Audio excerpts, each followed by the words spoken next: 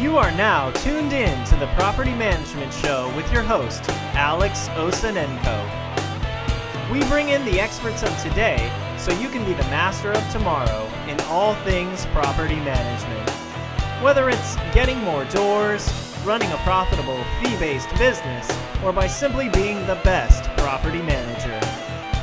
So, grab a pen and paper because this episode is sure to be a good one. Thank you and enjoy the show.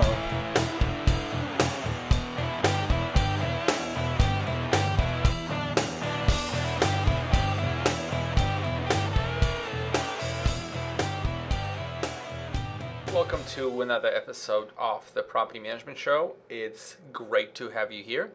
Uh, today, I'm going to be answering your questions. Now, we've uh, been on the air for about two years. I have uh, had a lot of feedback from uh, listeners over this time and um, had a lot of questions along the way. So I was kind of just helping people out, answering one off questions here and there. But, you know, I've decided to create a segment and um, uh, that specifically has to do with taking my uh, experience and expertise and pointing towards um, helping you address your specific questions. Now, just a quick background I spent uh, last 10 years in the property management industry and the last six as an entrepreneur and business owner, scaling four and a half from you know zero kind of a garage days to 27 employees and growing fast at this stage.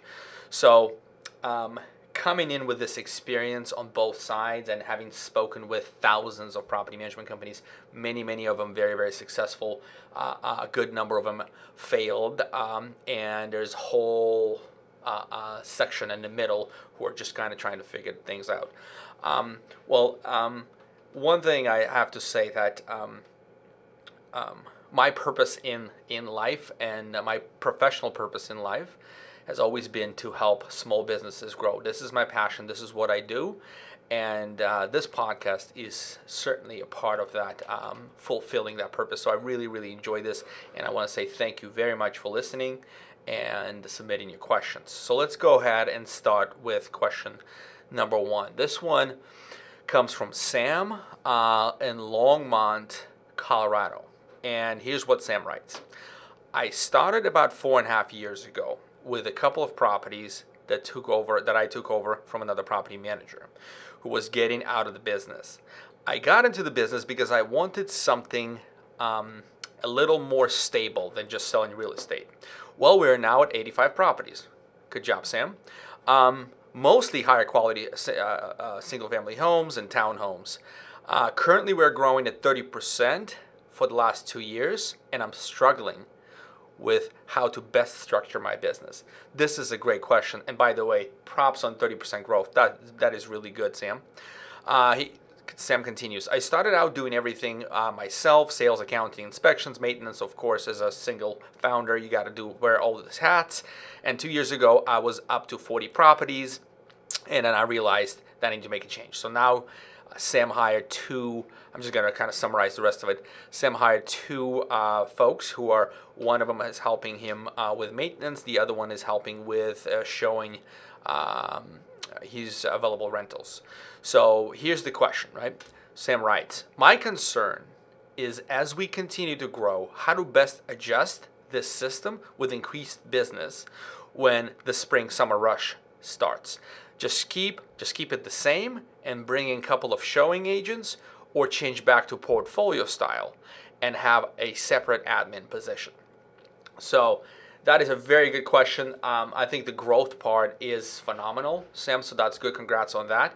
Now, as far as structuring your operations, I have a very specific advice for you. I thought this through, and um, I think you you're per, you're in a perfect position to implement and continue scaling your company if you choose to with a squad structure.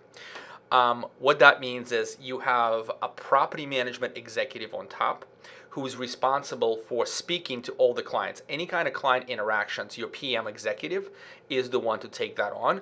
Below the PM executive, there's a uh, maintenance support, there is a uh, um, uh, rentals and, and, leasing support, right? And then you might have an accounting, part-time accountant support. And so that squad as a structure operates uh, most efficiently because you have a single point of contact for your clients. And as a squad, you should be able to handle, as Adam Hooley says, um, who's the person I interviewed on this structure, um, he says it should be handled anywhere from 150 to, to up to 300 properties, a properly organized squad. So, as a business ourselves, as a service delivery business, and um, four and a half is very similarly structured to a lot of property management companies. Um, we've converted into squads uh, about six months ago, and that has been in a, a, a, a, painful transition initially, but we're finding this a lot more efficient and effective for our clients and our ability to deliver work and provide a progression path for the team as well as they start at the sort of lower level and uh, uh, build their careers up to the high level. We call them campaign director. Um, I recommend you call him property management executive or PM executive. Um, so that would that would be the path I would take. So I would highly recommend Sam you take the time um, to spend a day or spend a half a day uh, reviewing and listening to the framework of high performing uh, five uh, excuse me the framework of high performance uh, property management team with Adam Hooley. I've done that interview a little while ago. It's on fourandahalf.com. If you click po- uh, free resources podcast, scroll down, you'll find uh, my interview with Adam Hooley. And in that interview, he cites a book that you can download ebook that you can download for free and you can really dig in and understand. I read that book twice to understand the, the squad structure part, to understand before we convert it. So I think my answer to you is um, I think my path, at least your path, in my my view, is pretty clear. You put that squad stru- structure together, and you start filling out with properties. And then once you're ready to build a, a second squad, then you already have a framework for that. So that would be my um, recommendation.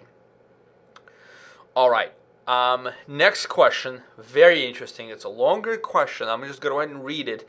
And this is going to be, I think, very, very entertaining and uh, useful listen for everyone involved. And by the way, this question comes from Monty from Florida. He's I've known Monty for, for a long time now, since five years or something. And here's Monty's question. Here we go. Okay, this is he writes this. Okay, I have owned stock and commodity investment firms for the last 25 years and utilized phone, telephone, cold calling as our main tool for generating leads at a low cost per acquisition. I had two branch offices in two states with 25 to 30 salespeople, with 12 to 15 full-time telephone cold callers on the phone, pounding through thousands of leads daily to generate leads for my closers. The Dodd Frank bill eliminated the trading platform um, that we had developed in 2011, and since I had myself been a real estate investor. Then I discovered property management and thought it was a good fit. I've been helping investors get better returns on their investments with stock and commodities for 25 years, so this was not much different in that sense. When I first got into property management business, it was just me and my wife testing out to see if we'd even like it. So I started with some old property management leads, uh, then added some radio and hired you guys to handle my internet marketing. I've recently hired one of my old commodity brokers to start cold calling. We have had some initial success with that, but so far, most have been tenant placement only accounts. Some are managed, and we hope to convert those placements only DIY owners into management accounts in the future, but time will tell. Okay. Monty continues to write. So I know that through my career, um, that I'm one of the best salesmen and closers out there, and I'm good at hiring and training my guys to follow my sales procedure with similar results. We close as much as 30% of our inbound leads and average minimum of 15 to 20% closing rate. We beat out competition who are cheaper than us and have built a good online reputation. The main thing holding us back uh, from much faster, more explosive growth is more leads. I see companies like Empire, Steve Rosenberg, um, out of Houston that claim to have built zero to 700 doors in four to five years. Or Larson Property Management, Brett Larson, uh, who's now RentWorks, by the way. uh, in Austin claims to be adding a door a day. I also see some of these guys that are always doing interviews and podcasts. I don't know why these guys spend so much time getting their face out to other PM companies or how, if, if at all, it helps them generate owner leads. But if their numbers are true, it's pretty impressive. I have a hard time generating 40 to 50 leads a month, let alone 30 doors. This November, we only generated 12 inbound leads and no radio. Um, just curious what they are doing differently to generate that many leads. I spent $15,000 on radio alone last March, plus my internet marketing, um, and we will only generated 60 leads that month. I'd love to know what the marketing budget for those guys and what they are spending it on to get those results. Do you have any other suggestions um, that could help me hit those types of numbers? Wow, Monty, that's number one. Excellent question, and thank you for writing this all out. Um, I think just about everyone on uh, who listens to the show are impressed with that sort of growth. Um, uh, for the companies men- uh, Monty mentioned, which is uh, um, Empire Industries, was uh, with Steve Rosenberg at, at its helm and Pete, his partner, as well as Larson Properties, which is now RentWorks. And uh, firstly, I would say, to my best knowledge, having pretty intimate relationships as far as friendships with both of these uh, individuals, I think those numbers are quite uh, quite real and they're true. So their growth is is is staggering, and it's uh, and they're not backed by any sort of uh, uh, institutional money that I know of, right? So let's dig in and understand. I think there's two sides. So the question is to sum this up again. The question is, how can I get same numbers as um, same same growth rate as th- these two companies that I mentioned? Well, um, two uh, avenues here, two ways to think about it, and two things that you have to do, two different uh, directions. One is internal, the other one is external. So let's explore the internal. Over, over the years, I've come up with uh, three pillars for business success. Um, to succeed in business, um, the three things are purpose, numbers, and experimentation. So let me explain. The purpose uh, of the organization isn't to enrich its founder, right? Uh, because that's that's sort of that should be the outcome. That should not be the purpose.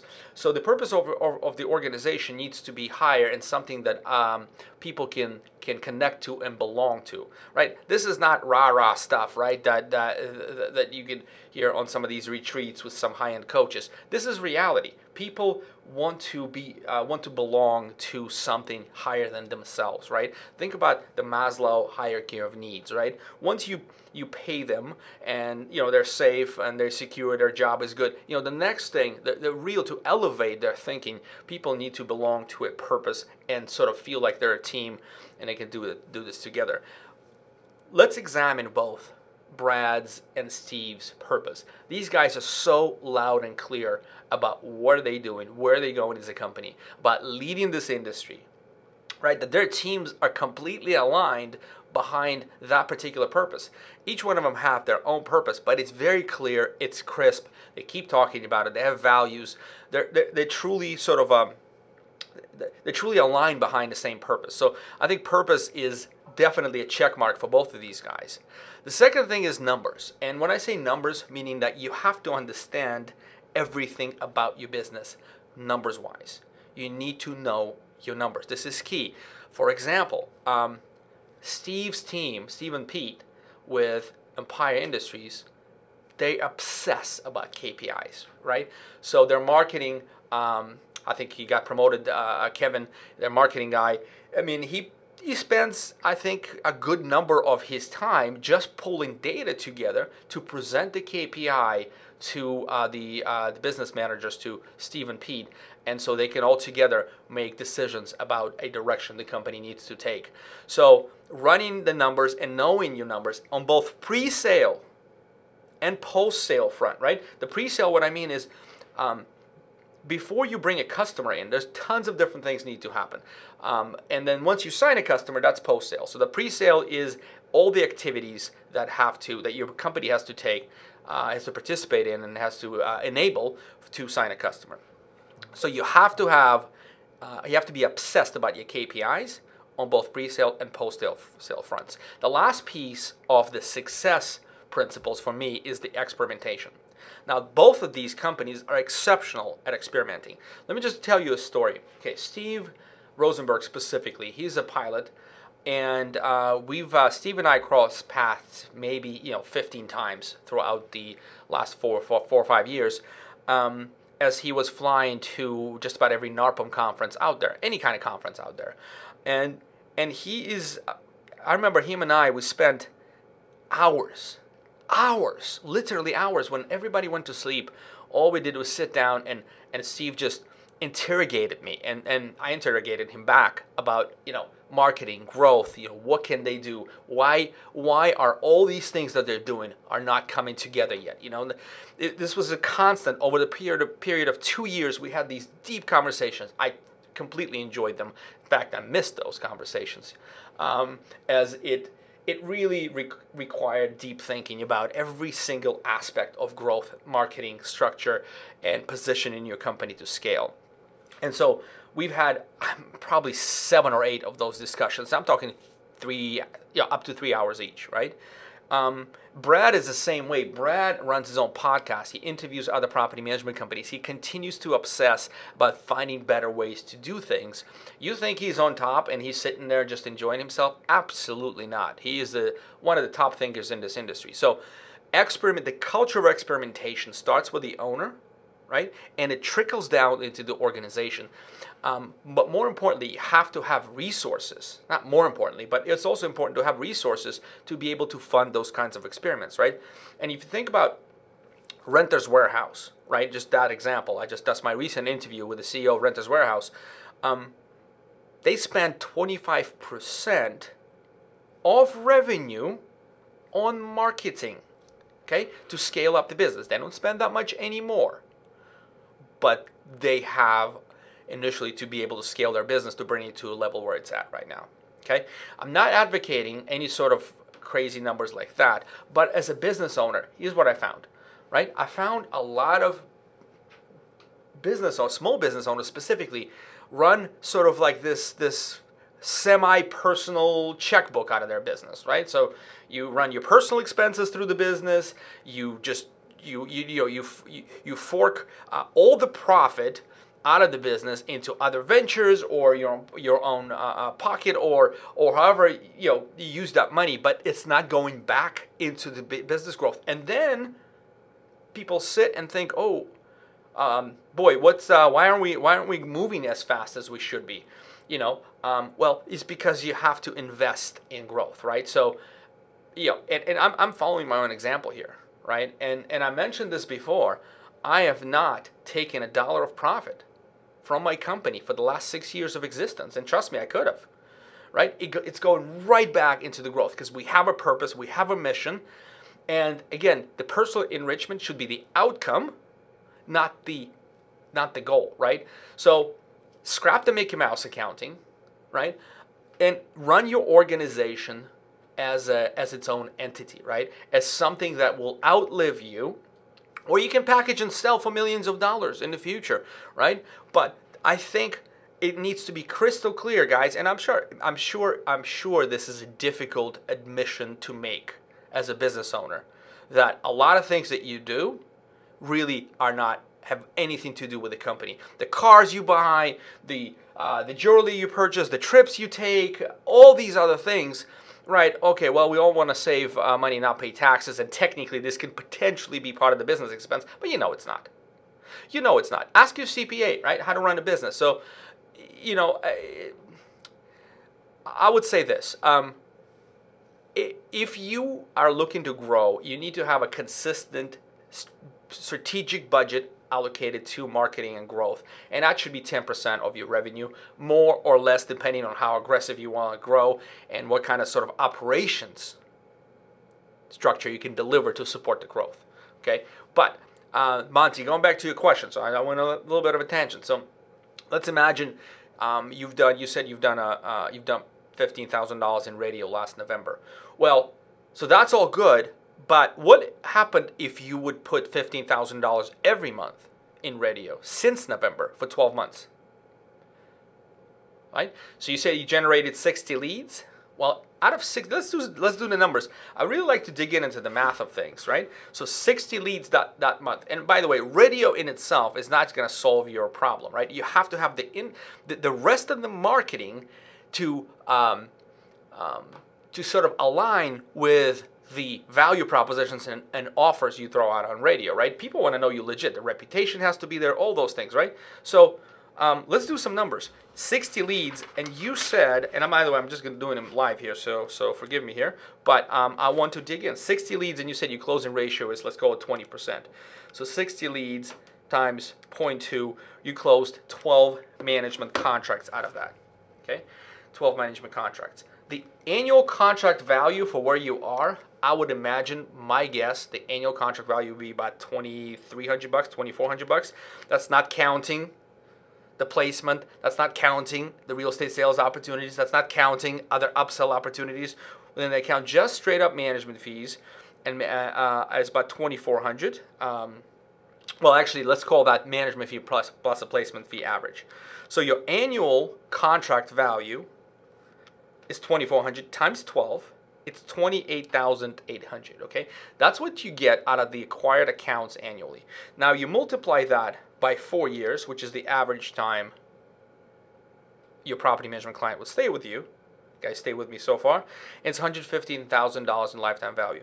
So you've closed in the month of November, last November, by spending 15000 on radios and supplementing with other spend, like you working with four and a half. Great. You have some content, you have reputation, you can close those deals, right? Now you spent you you you produced 115,000 of minimum of a lifetime value in that one month. Why not keep doing it? Spend 15, get 115.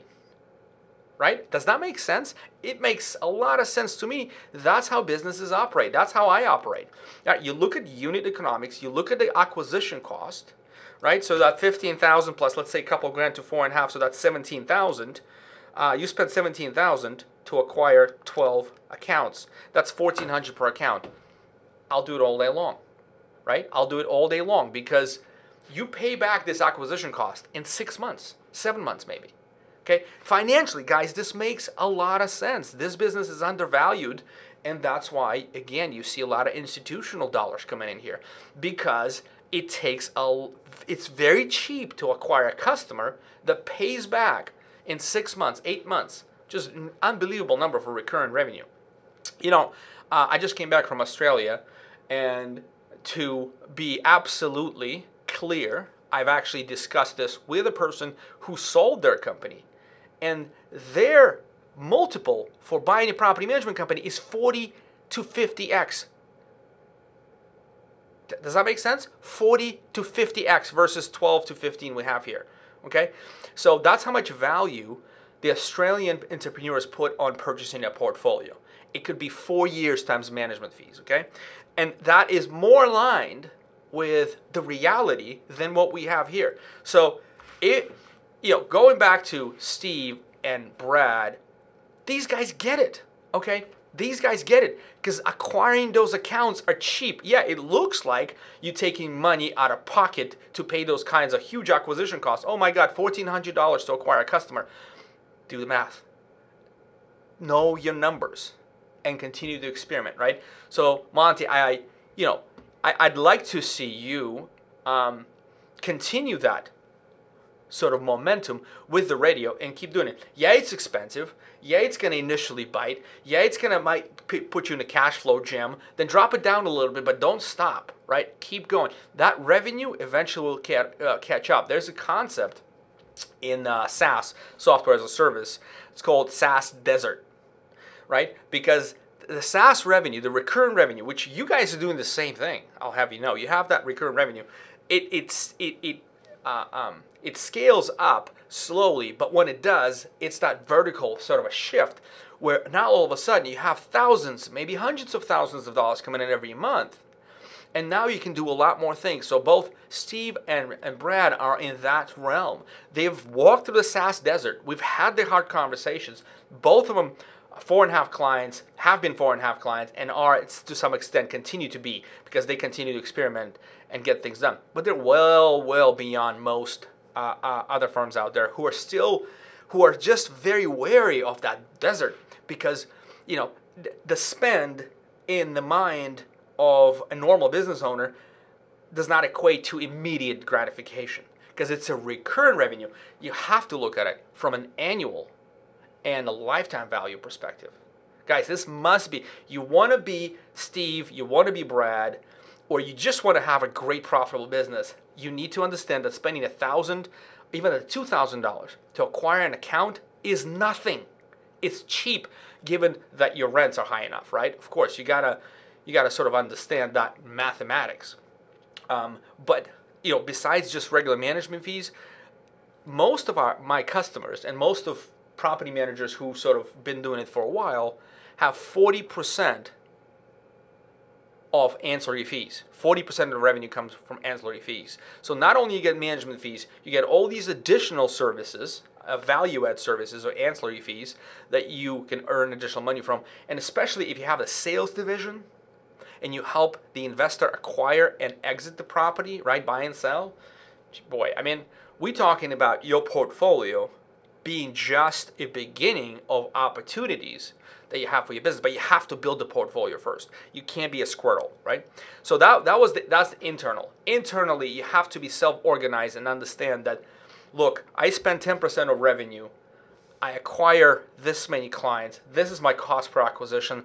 It's a go go go oh no, I'm spending way too much, the deals are not closing, or the customers are popping out, wrong quality, change marketing channel. Or add additional marketing channels. So the next element is external. So the, the next question is how? Like, okay, Alex, I'm with you. I am willing to pay enough money to buy clients. I just need more of them. Well, fine. Three things that these guys are doing, nobody else is doing. Nobody else is doing at this velocity. Number one, content. Okay. Each each company that you mentioned, Monty, has oh, well over 150, 200, 300 blogs that are basically just explainer videos that are talking to their prospects about managing a property and sharing their expertise, right? That's huge. That brings thousands, thousands upon thousands of, of visitors to the website. Then the next point is the website, or in fact, next point is reputation. Reputation, both of these guys are absolutely obsessed about reputation. They wake up in the morning. I bet you Steve Rosenberg checks his reviews. I bet you Brad wakes up in the morning, has his coffee, comes to work, does his yoga, and then he checks his Google rankings, right? Um, that's just these guys are are figured out a, a way to get hundreds of positive reviews. You have to find a way for your happy clients to speak on your behalf. This is not rocket science. It needs to be solved. It's not easy. There are solutions like four and a half. We solve the reputation programmatically and customer experience. There are things you can do beyond that, right? This is not just you just you don't just pay 200 bucks, 300 bucks a month and you say, "Okay, well, four and a half's got it for me. I don't have to do jack." No. You have to con- commit to rewarding your employees, to have the culture of positivity and and a culture of asking for reviews. That just has to be the case. And then together with that, with the programmatic solution, you have the people solution, you have the purpose, you know your numbers, and then you continue to experiment. And then you get your good reputation, hundreds of reviews. Blows everybody out of the water. And the last thing is the website. None of these guys have a cookie cutter website. Okay? You need a website that communicates and converts.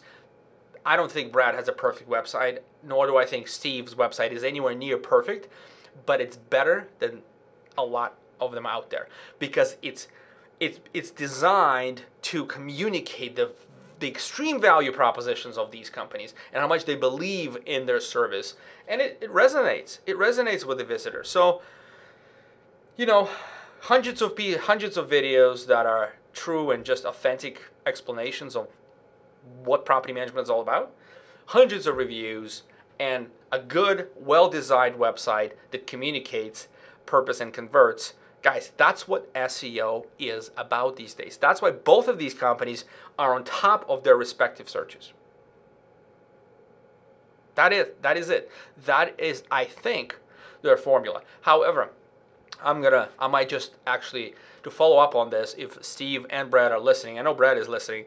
Not sure about Steve, but if if we can get both of these guys to talk about their strategies, I don't know if that will help you out, Monty. Let me know. But uh, this is what I see from my position. Okay, um, we have time for one more question. This is uh, maybe maybe a couple more because this is a short, though I can get in into a long discussion here.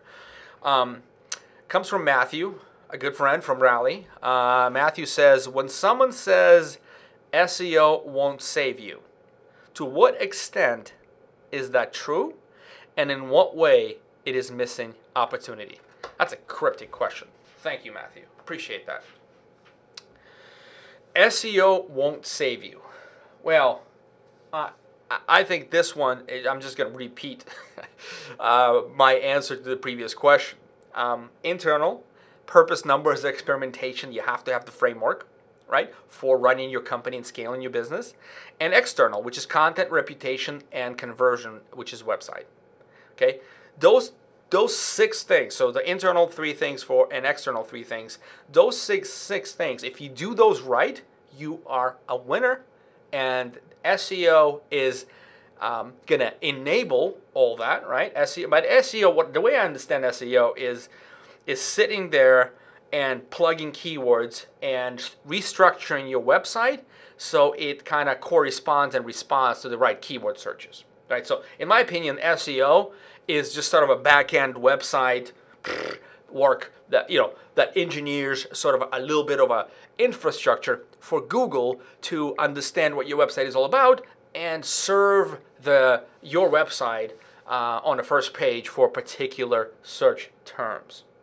Okay, and so for that SEO is an enabler, but if you don't have, if your company is not aligned, right? people just kind of just there because you pay them paycheck and they can't find another job because they're, you know, let's face it, they're not that good.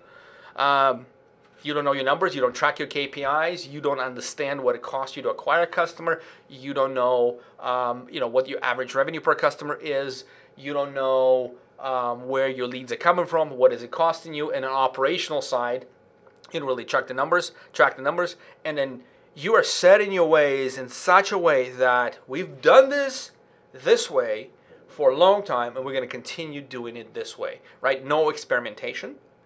That in itself, for that kind of company, SEO is not going to help you, right? You see, SEO is not going to help you because you're going to get them in and they're going to come right out, okay? Or you're going to get them in the door, you won't be able to close them because there's no continuity on the team right? Nobody really cares. It's all sort of, we've always done this and blah, blah, blah.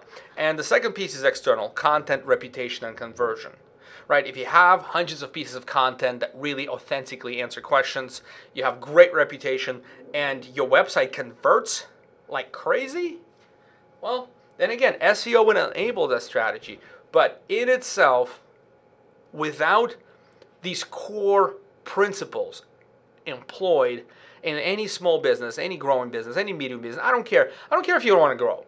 I do not care if you don't want to grow at all. But you know, it's a leaky bucket, right? You have to keep replacing properties as you lose them on the back end.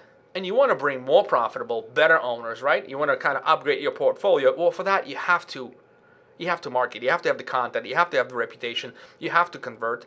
And then internally, you have to understand what your purpose is, why, what you're fighting for. Get your squad to fight with you and for you. Uh, you have to know your numbers, and you have to experiment. And then, and then SEO makes huge impact for businesses like that, right? If you don't have any of these elements, or only some, SEO will have some effect. Okay, but I, am hope hopefully I'm answering the question. Um, I think we're about 33 minutes in. I think I might do one more. I'm gonna I'm gonna roll here. So um, one of the questions we we got, I got. I'm just kind of looking through him.